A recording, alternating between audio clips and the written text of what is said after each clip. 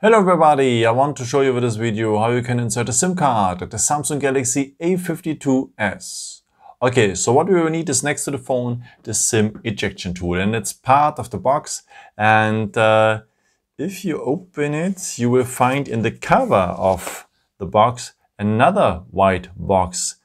Just remove it like this and on the back you will see here the SIM ejection tool. So just remove it like this and yeah, otherwise uh, you could use also, of course, the edge of the good old paperclip. Okay, and if you have the phone like this, you will find now on the top of the phone the SIM tray.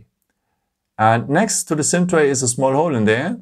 And now with the edge of the SIM ejection tool or the paperclip, you enter that hole, press a bit, and the SIM tray will come out.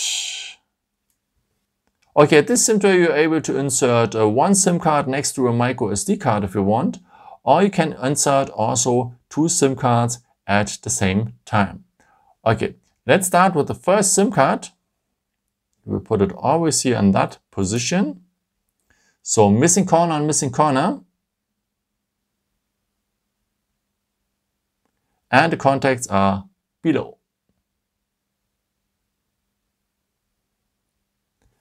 And as I said, if you want, you can add also a second SIM card here on that position.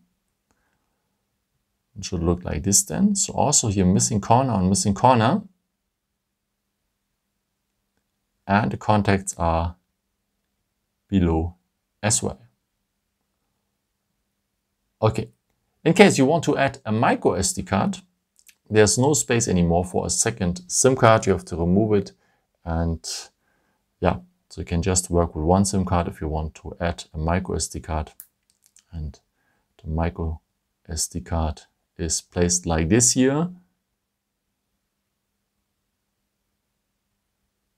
So, and the contacts are below as well.